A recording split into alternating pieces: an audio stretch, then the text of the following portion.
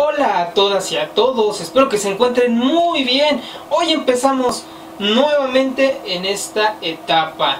Y lo que vamos a hacer el día de hoy es presentarles un tema. Sí, un tema. Este tema lo dejé pendiente desde un proyecto pasado, pero como no quiero iniciar con el pie izquierdo, vamos a continuar con esa misma temática.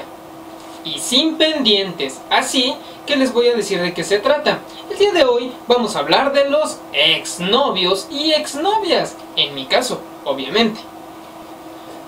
Seguramente la mayoría de las personas que me ven han tenido novio, novia e inclusive algunos ya se encuentran en algún proceso de divorcio o ya pasaron por alguna situación similar. Es demasiado fácil comenzar una relación, ya que hay muchísimos factores por los cuales las comenzamos. Por ejemplo, si nos gusta a alguien, si nos cae bien, si nos hace reír, si tiene dinero, si huele rico, si se viste bien, si está bien buena, si tenemos cosas en común, si nos cansamos de la soltería, si los amigos tienen y pensamos, si él tiene, y él tiene, y él tiene, yo por qué no, yo también quiero tener una. También puede ser por compromiso. Porque nos agarraron bien borrachos y compartiendo amor con todo el mundo. Ya saben, abrazos, ay, te quiero mucho, ay, te extraño mucho, ay, te amo mucho. Y papas, te enjaretan a una chica. Porque queremos simplemente tener con quién salir. También puede ser porque es la única persona a la que le parecemos interesantes. Y bueno, creo que dije las principales. Pero a la vez yo creo que estas pueden llegar a ser motivos por los cuales terminas una relación. Por eso hay que tener mucho cuidado y poner mucha atención. No puedes tener una novia nada más porque tus amigos tienen una.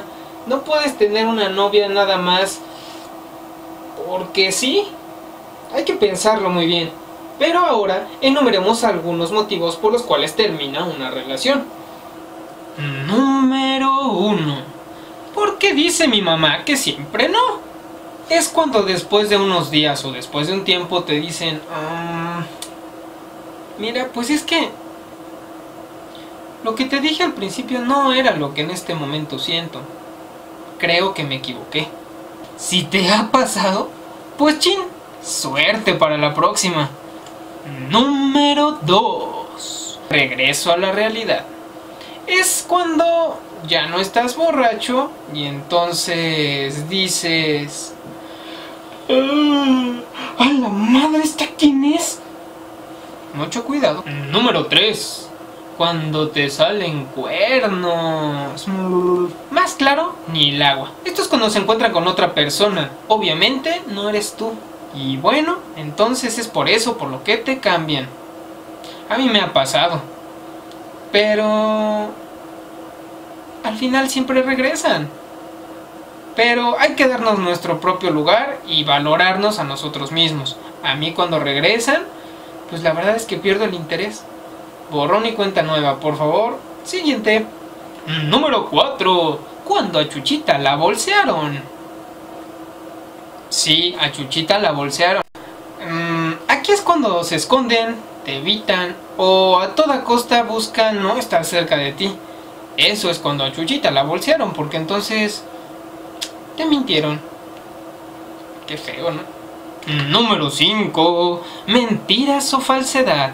Bueno, como el título lo dice, pues es muy simple. Es cuando te mienten constantemente y se vuelve un mal hábito en la relación, o más bien con tu pareja.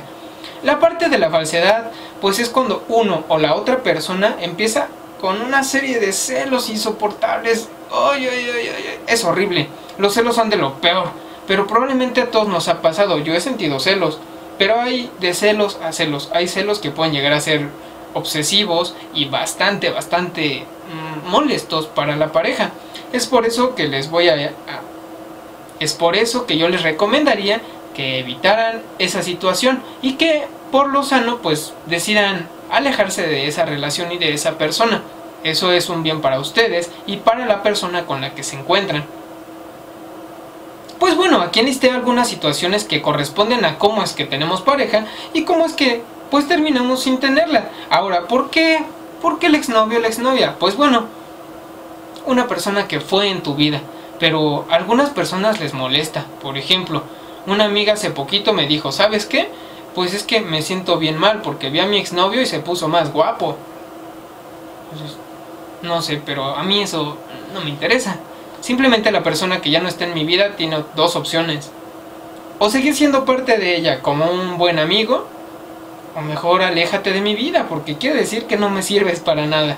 Pues bueno, muchas gracias por su tiempo, que tengan un excelente día, no olviden suscribirse y denme temas. Los miércoles van a ser temas, eh, obviamente ustedes pueden solicitarlos. Les dejo mis datos, Facebook, correos, bueno, bueno, correo no, pero sí el Facebook, el Twitter y bueno, pueden contactarme ahí.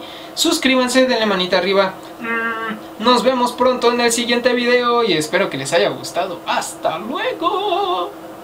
Hasta el próximo video.